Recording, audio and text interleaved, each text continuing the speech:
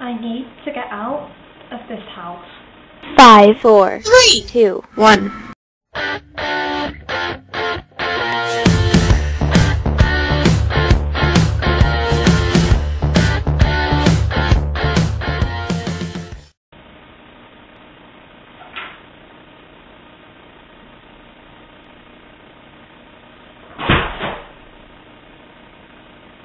So, yeah, I've been revising a lot this week.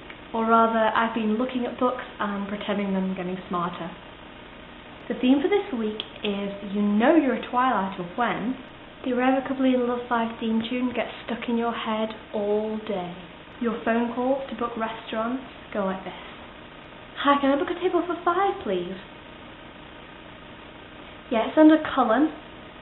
You go to see Twilight for the first time and aren't alarmed when your friend Alice sits next to you and goes like this the whole time.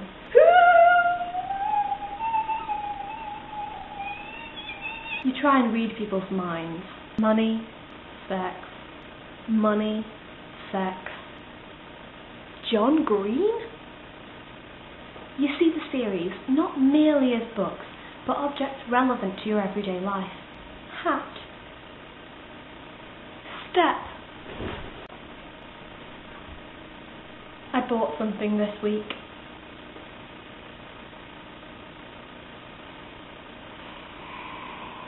I think this is it. This is I've actually peaked. Can you just thank me and get over it? Thank you.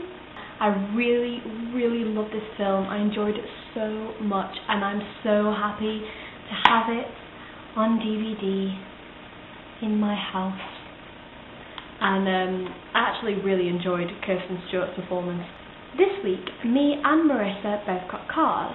Um, I got a Ford Fiesta, and I can't remember what she got, but uh, I'm sure it's on Twitter somewhere. Um, we're both underage for driving, but that, you know, Irrevocable in Love 5 people don't bother about age limits. We just do what we want because we're super cool. And we've got 268 subscribers. So, you know, they let us off, uh, you know, getting arrested for driving, so it's all good.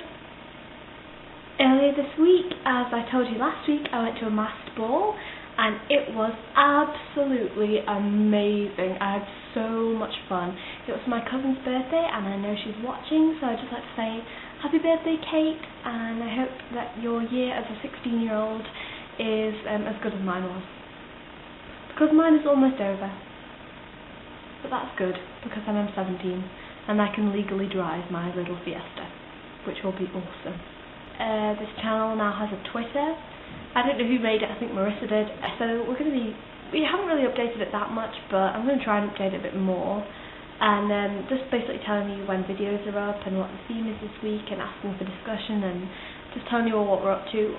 Or if you don't want to follow us on there, you can follow us on our personal Twitters. I know we all have them and um, you'll probably be able to find them in the sidebar to all our videos because we usually put them in there.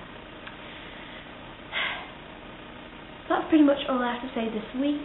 Um, Shelby, I'll see you on Monday, and everyone else, I'll see you next week. That was the most awkward wink ever.